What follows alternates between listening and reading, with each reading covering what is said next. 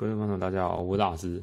好，今天这支影片呢，原本是想要拍一个 Sony 这一款 X 二的二零一八年版本的手机，三 G 跟三十二 G。那但是呢，大师发现这只手机有一个很大、很严重的问题，所以我今天要是要来抱怨这一个问题的。那因为很简单，它因为配件就是这三个。Type C 的线，然后耳机、耳机线跟充电头，然后这款这款手机是可以支援我们的呃快充功能，但是它的充电头呢是没办法做快充的的电流，那电流是不够啦，对它也没办法做快充功能，所以 X 二是没办法做快充的，它没有负了，它的充电头就是没有这个功能，然后它的耳机啊。它耳机还没有那个耳罩啊，跟那凤那凤五比，真是差太多了。价格一开始的价格还卖一万一一千块，它那凤五呢，价格也是差不多是原价了，差不多是一万一。那因为大师的那个电凤五的盒子不在手边，然后连那个叉二的送你这个盒子里做的质感很差，这是一个普通的纸盒啊，就是没有没有很刻意去说要要。批评哪一个厂牌，但是实际上感觉就是这样。林凤五的确，它的盒装的品质都好，比索尼这支好太多了。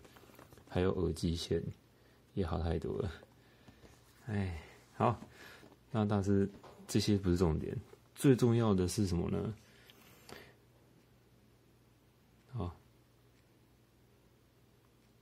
哎哦，因为我刚刚有重开机。怎么不能动？好，最重要的是什么呢？好，大家看哦，大师那时候已经在中华电信购买的，但是那时候就就是有附这个保护贴，然后因为呢，它触碰有点不太灵敏，应该说触碰要拿在手上触碰它是正常的。怎么说呢？左右滑可以，对不对？但是那时候，那时候觉得说，哎，为什么上下滑我选单拉不下来？我滑很轻哎，你看，大家看到吗？你看啊，这个搜寻呢，这个搜寻是这样子滑下来才有的。但是呢，我要我要滑这个 WiFi 那个选单，然后拉不下来，拉不下来，你看啊，拉不下来。我很大力也不行，再说手机轻轻摸都可以了，你看不行啊！你看我拿到手上，拿到手上就可以了。这这什么啊？这这是什么？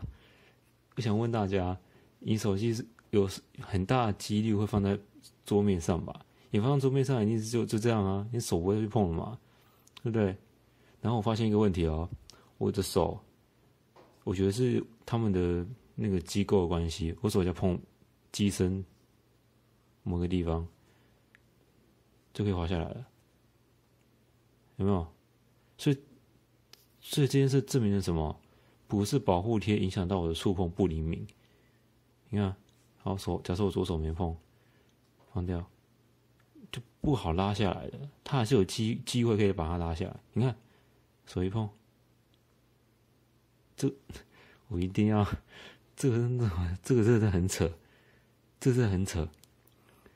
我在 PPT 也有看到有人这个问题，大家都说拿到手上很顺，对，这个这一点我也觉得还还还算，以顺畅度来说，以这个 CP 值，高通 S 六三零的 CP，我觉得这个三 G 记忆体，我觉得这个速度算是 OK 的，音质也 OK，拍照。跟录影，我觉得就算有水准的，但是这个问题太严重了。这个一定是索尼他们自己本身一开始就没做好。然然后软体更新，它几月上市的？我记得是三四月吧。但是我买已经是十月的事了哦。它更新，我一开机更新两次，两个两个问题也没有解决这个事情啊。然后一上网才一上网去查才发现，哎。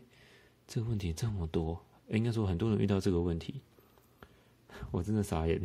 傻眼猫咪，各位不要买叉 A 二，叉 A 叉 A 二 Ultra 那那一款跟 Plus 的我不清楚，但是这一款不要买，不要买。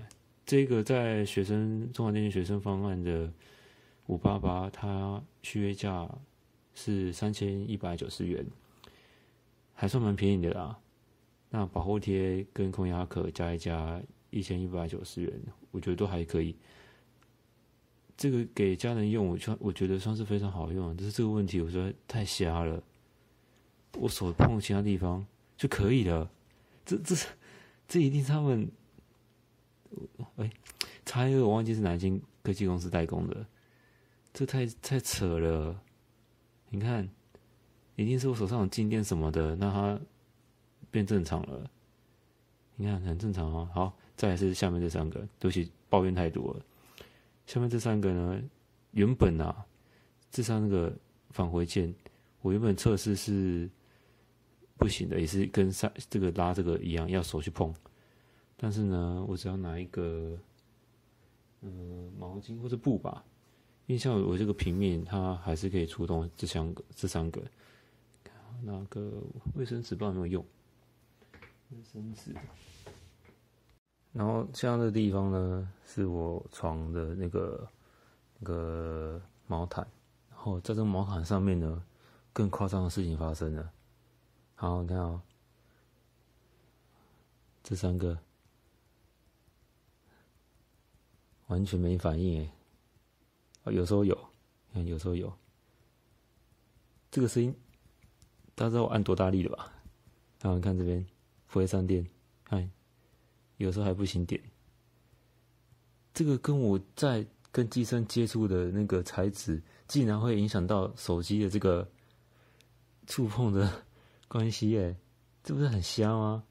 而且我觉得，既然网络上的人这么多人遇到，一定是本身的手机制造本来就是这个样子的。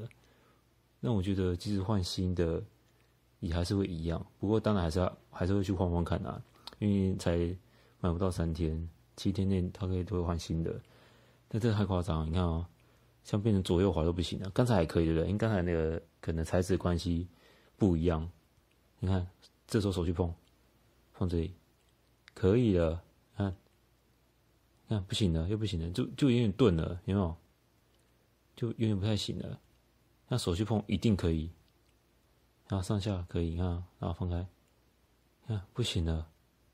这个上下跟下面的返回键是最明显的例子，有没有？这太扯了啦！你看手机碰就可以返回了，手机碰就可以了。你看这样都不行，看手机碰可以了。这这道理好，总总之一句啦。害我想拍他的评测，我连那个心情都没有了。但是以手机的外观来说，其实还算是不错的，我觉得觉得是不错的啊。以上四四方方的，还是有很多 Sony 的那个风格在，耳机孔也有，然后 Type C 喇叭其实也够大声，收音孔两个，这这里跟这里，这里，然后是三点五 mm 的耳机孔，我觉得该有都有，但是是为什么一定要拿在手上才能触碰灵敏呢？我不懂哎。